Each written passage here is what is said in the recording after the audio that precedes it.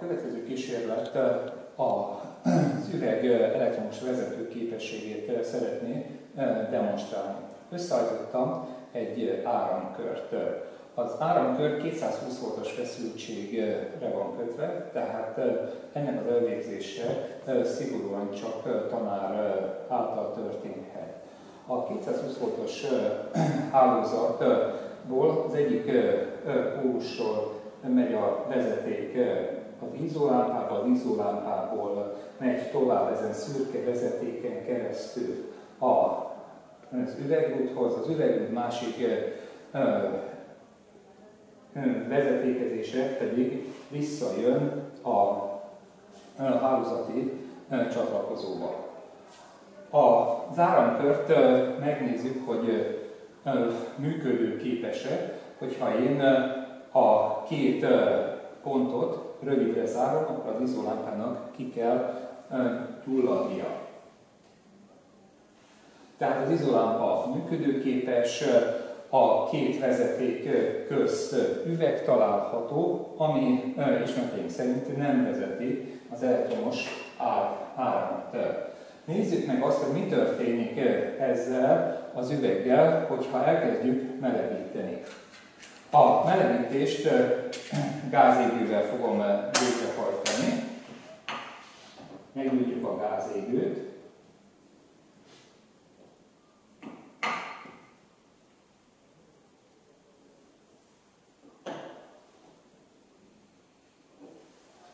elkezdjük melegíteni az üveget a két kivezetés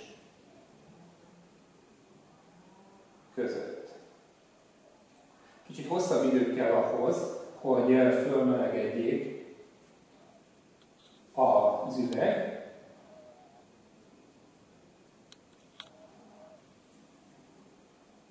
és figyeljük majd az izzólámpa viselkedését.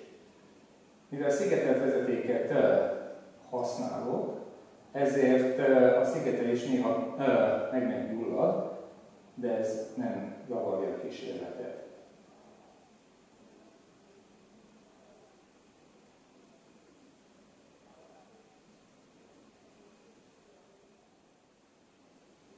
Szívek jelentek meg a fény és az üveg találkozásánál. Hamarosan akkor elegendően meleg lesz az üveg.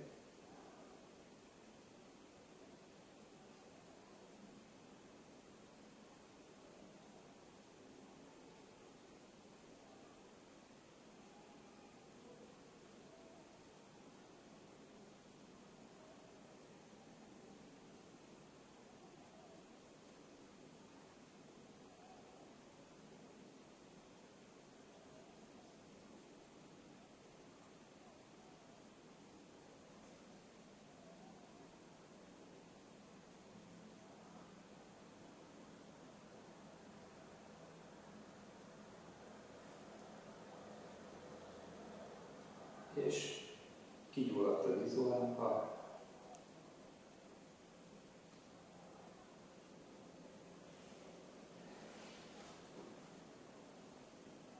ráfújott, kicsit megmelegítem, és ismételten világítani fog az izolámpa. magyarázat.